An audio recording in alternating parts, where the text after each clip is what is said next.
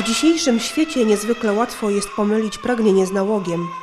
Z problemem tak postawionym zmierzyli się autor sztuki Kochanie na kredyt Marcin Szczygielski, reżyser przedstawienia Olaf Lubaszenko i jego wykonawcy Małgorzata Pieczyńska, Agnieszka Sienkiewicz, Filip Bobek, Piotr Zelt i Przemysław Sadowski.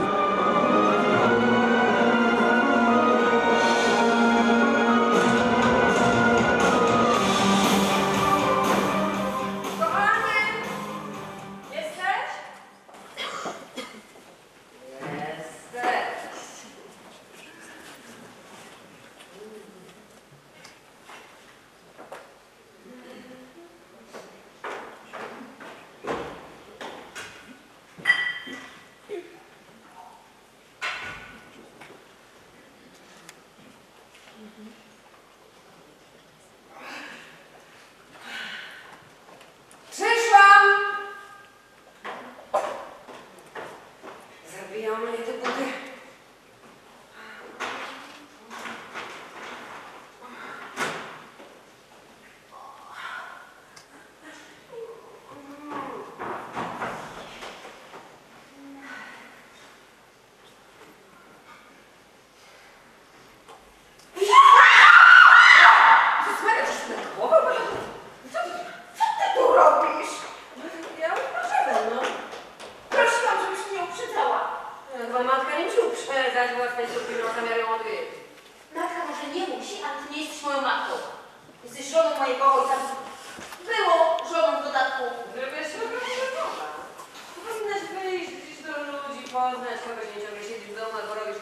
Nasi bohaterowie są troszkę przerysowani e, i, i właśnie zapominają o tym, co jest e, ważne tak naprawdę i dają się ponieść tej fali blichtru,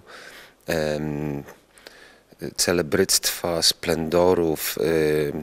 Nieważne, że to jest na kredyt, że tak naprawdę nie stać mnie na ten samochód, ale ponieważ chcę być tak postrzegany, więc wszystko zrobię, żeby go mieć. I to trochę to napiętnujemy w tym spektaklu. Oczywiście z przymrużeniem oka i, i raczej nie jest to tania dydaktyka, a stawiamy, czy chcielibyśmy postawić przed widzem takie pytanie. Zastanów się, czy warto widzu.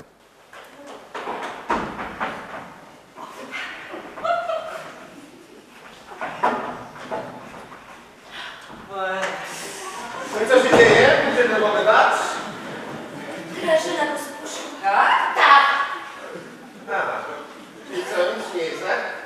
No dobrze, następnym razem wyzwoń na policję,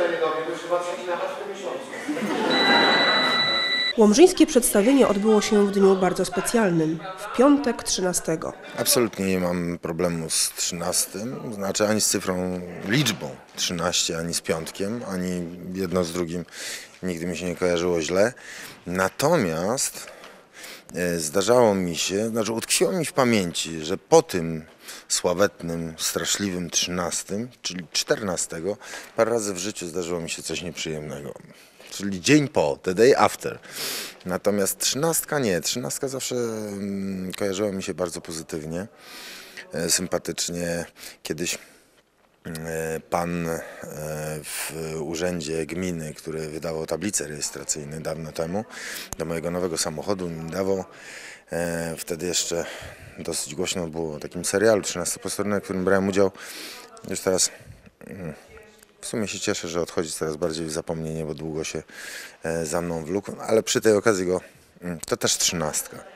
Ale też e, nie mogę powiedzieć, żeby się kojarzyła źle, bo w sumie, summa summarum, e, kojarzy się dobrze mimo wszystko. Mm, Natomiast pan mnie zapytał, czy, czy mam jakiś problem z trzynastką. Ja powiedziałem, że nie i dostałem wtedy tablice rejestracyjne 1331. Czyli były dwie trzynastki, jedna odwrócona, druga tak. I ten samochód był absolutnie szczęśliwy. Nigdy nie miałem z nim żadnych problemów, ani żadnego wypadku. Także trzynastka w moim przypadku jest mm, jak najbardziej okej. Nie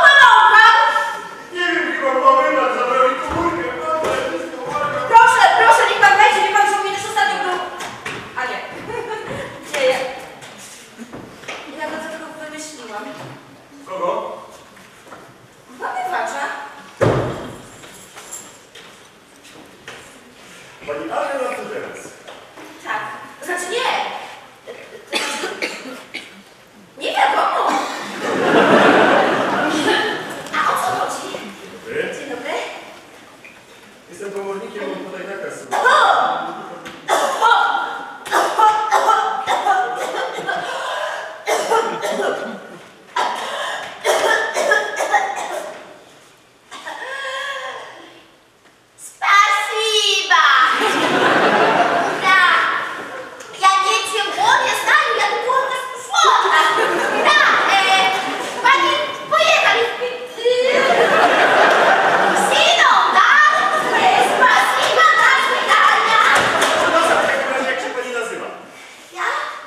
tak, pani.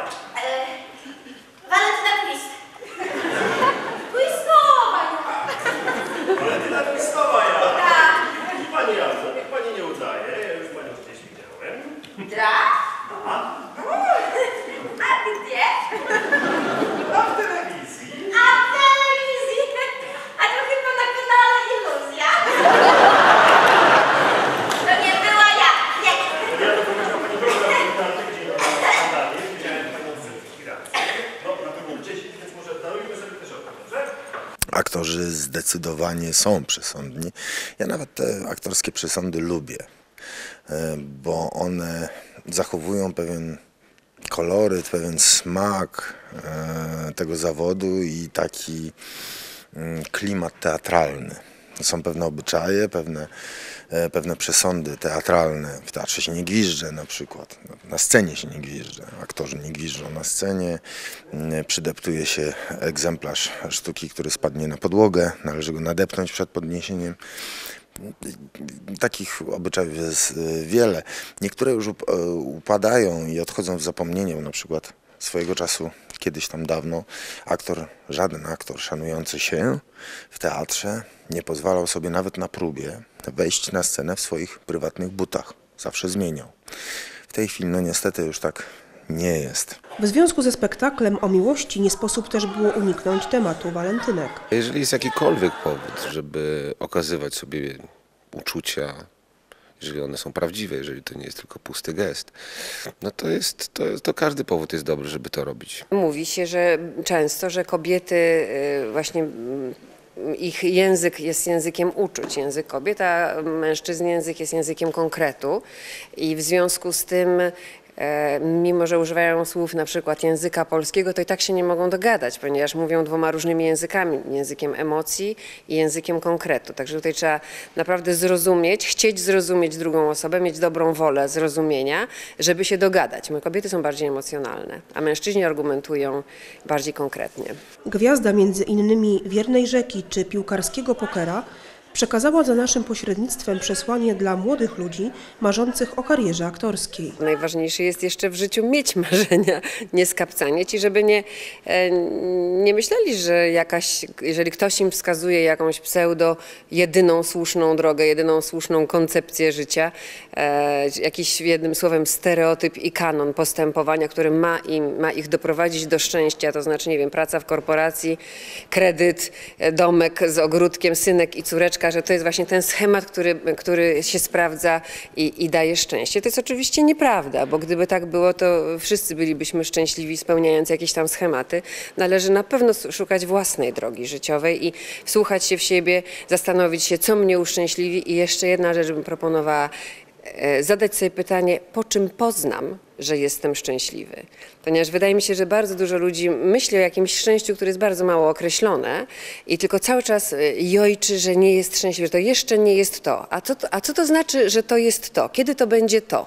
I wydaje mi się, że czasami tak zwyczajnie siedząc przy śniadaniu, przy jajku na miękko, jeżeli człowiek sobie zada pytanie, czy to czasem nie jest szczęście, że po prostu sobie siedzę z mężem czy z żoną, jem jajko na miękko, słońce świeci, czy to czasem nie jest to, bo może tak. Po prostu trzeba wiedzieć, po czym się to rozpozna. Czasami się rozpozna to po bardzo prostych rzeczach i jesteśmy szczęśliwsi niż nam się wydaje, tylko cały czas gdzieś gonimy i nie chcemy tego zauważyć, a to jest gdzieś bardzo blisko przeważnie. Zabawny, a jednocześnie skłaniający do refleksji spektakl w wykonaniu wyśmienitego zespołu aktorskiego bardzo spodobał się łomżyńskim widzom. Po zakończonym akcie kopulacji Samica odgryza samcowi głowę. Na pierwsze nie idź, drugie masz jak banku.